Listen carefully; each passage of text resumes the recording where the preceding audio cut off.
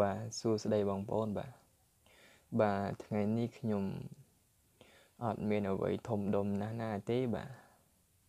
មានតែពីរខ្សែនេះបាទដែលតែងតែដាក់តាមខ្លួនបាទរាល់ថ្ងៃបាទដែលចិត្តក្តីឆ្ងាយក្តីហ្នឹងបាទខ្ញុំតែងតែដាក់តាមខ្លួនបាទនេះជាប្រភេទរស័យជុំក្រឡងបងប្អូនបាទជុំក្រឡងបាទ ខ្ញុំខាត់អញ្ចឹងទៅបាទឃើញរូបរាងស្អាតអញ្ចឹងខាត់ចេញជារូបរាងអញ្ចឹងបាទឲ្យមូលអញ្ចឹងតែម្ដងបាទ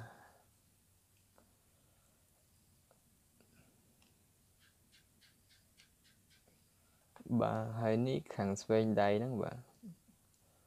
ខាងស្វែងដៃហ្នឹងគឺជាវចងឯងបាទប្រភេទវដោះគុណបាទ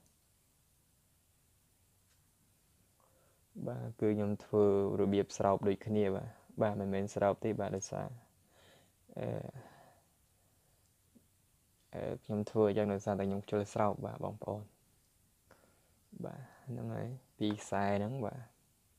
ដាក់តាមខ្លួនរាល់ថ្ងៃបាទស្រឡាញ់ណាស់បាទ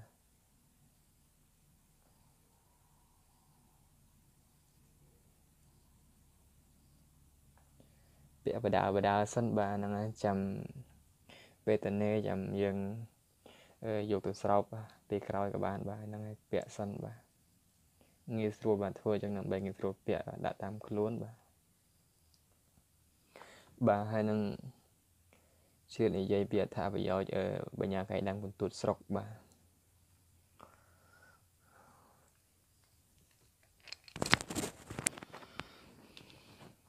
បាទនេះគឺជាបញ្ញាកៃដាំងបន្ទួតស្រុកដែលខ្ញុំបង្ហាញនៅវីដេអូមុនហើយហើយបាទ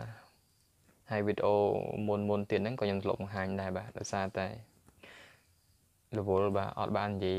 រៀបរាប់វិញឆ្ងាយទេបងប្អូនបាទបាទនេះគឺជាបញ្ញាក្អែកដើមកន្ទួតស្រុកបាទបាទគឺដៃបញ្ញាធំធំមែនតែនបាទនេះបាទដើមកន្ទួតស្រុក អឺអត់អាចបាទបន្លំយើងបានទេបាទនេះដើមកន្ទួតស្រុកមានប្រហោង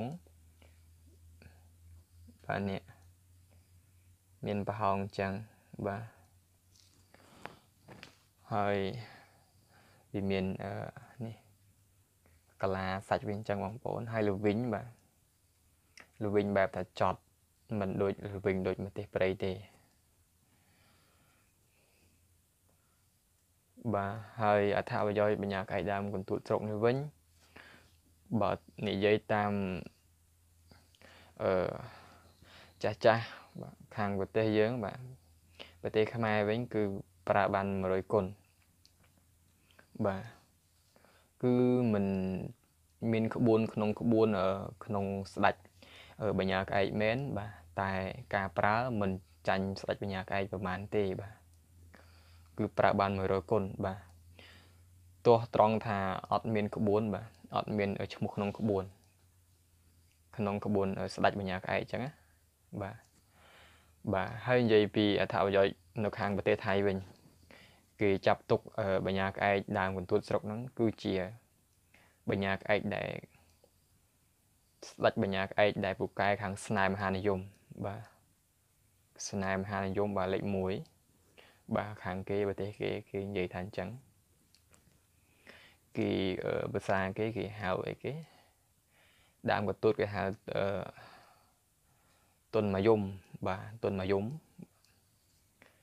ខាងយើងហៅដើមបន្ទួតខាងគេហៅទុនមួយយំបាទមួយយំបាទនឹងកទួតបាទទុនទុនហ្នឹងដើមបាទទុនមួយយំបាទប្រែមកថាដើមកទួតហ្នឹងបាទគឺពូកែខាងស្នែមហានិយម បាទគេយកឈ្មោះតាមមួយយំហ្នឹងបាទនិយមហ្នឹងបាទហើយអឺណាទេបាទនេះបាទនេះ3កប្លោកនេះខ្ញុំបានសម្អាតហើយហើយបាទខ្ញុំយកមកគោរពបូជាក្នុងផ្ទះហើយបាទបានមកបានអឺប្រហែលជា2វិសិលហើយបាទបាទនេះ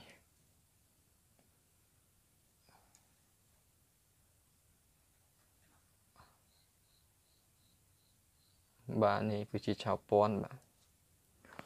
ឆោពាន់អឺរបស់វាបាទបញ្ញាក្អែកបាទគឺដើមបន្ទួតมันអាចបន្លំឬក៏បោកយើងបានទេដើមបន្ទួតយើងអាចមើលបាននេះវាមានឈ្នូលកដាលវានេះបាទបាទមានឈ្នូលកដាលវាអញ្ចឹង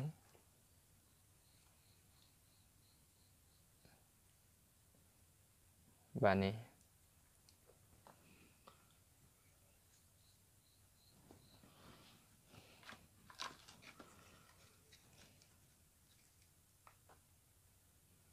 បាទនេះសាច់វាមានឈ្នូកដាអញ្ចឹងបងប្អូននេះបាទឈ្នូកដាស្ពោតស្ពោតអញ្ចឹងបាទបាទហ្នឹងទោះយើងបកចវកយ៉ាងណា បាទក៏នៅមានសាច់ថ្នាំងវាដែរបាទសាច់ថ្នាំងវាកទួតបាទ កទួតស្រុក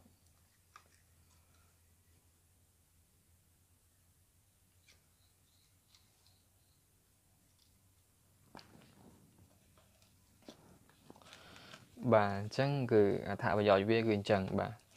បើខាងយើងវិញប្រើបានទាំងការពារទៅណោះបាទអាចនិយាយថាការការពារក៏ត្រូវបាទខាងស្នេហ៍មហានិយមក៏ត្រូវនិយាយថាខាងយើងនិយាយថាខាង ខាងយើងបាទហ្នឹងហើយនិយាយទៅនិយាយមកបាទពាក្យតែមួយទេបាទគឺខាងយើងប្រើ100គុណបាទបងប្អូនបាទហើយនេះគឺជាអឺបញ្ញាក្អែកដើមម្ទេសព្រៃបាទមានបងម្នាក់គាត់សួរខ្ញុំ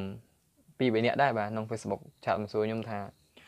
បញ្ញាក្អែកដើមម្ទេសហ្នឹងល្វីងអត់អស់ហល់អត់ម្ទេសព្រៃម្ទេសព្រៃហ្នឹង បាទដល់ពេលឥឡូវខ្ញុំចង់និយាយបាទបាទគឺដើមម្ទេសព្រៃអត់ល្វីងទេបងប្អូនអើបាទសូមអធិស្ឋានអត់ហល់ទេ បាទតែវាល្វីងមែនតើល្វីងជាងស្ដៅទៀតនេះបើសិនជារបស់នេះបងប្អូនឧទាហរណ៍ណាខ្ញុំប្រសើរដឹងហើយភាសាតែខ្ញុំមានបញ្ញាក្អែមទេប្រខ្ញុំដឹងបើសិនជាឲ្យមួយឆោពនខ្ញុំអត់និយាយខ្ញុំអត់ដឹងទេតែបើឲ្យជាប់កផ្លោកចេះ ខ្ញុំដឹងថាប្រទេសព្រៃឬក៏ដើមអីខ្ញុំដឹងប្រទេសព្រៃខ្ញុំដឹងបាទនេះដោយសារតែខ្ញុំប្រសើររួចហើយបាទគឺប្រទេសព្រៃល្វីងមែនតើបាទល្វីងបាទល្វីងបើសិនជាយើងឧទាហរណ៍យើងយកថាយើងយកអណ្ដាតអញ្ចឹងចុះទប់ទប់ជាមួយមេឃហ្នឹងបើសិនជាវាកាន់តែស្ងួតវាអត់ល្វីងទេវាបែបថានៅចាំដល់ពេលវាជ្រាបដល់ពេលដាក់អណ្ដាតទប់ជាប់ផ្លោកហ្នឹងប្រហែលជា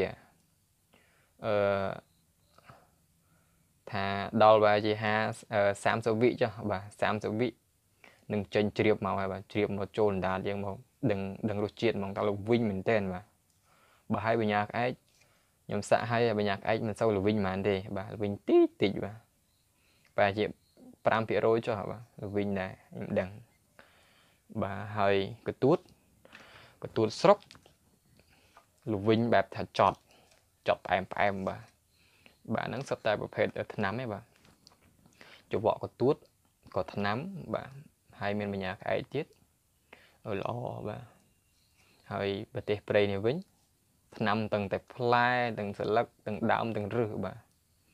ហើយមានបញ្ញាក្អែមប្រទេសព្រៃទៀតបាទបាទបាទអញ្ចឹងវីដេអូខ្ញុំបាទមានតែប៉ុណ្្នឹងទេបាទហ្នឹងហើយ បាទអរគុណច្រើនបាទសម្រាប់ការចូលទស្សនាវីដេអូខ្ញុំបាទកន្លងមកបាទបាទអរគុណច្រើនបាទសម្រាប់ការចូលទស្សនាវីដេអូនេះបាទសូមជម្រាបលា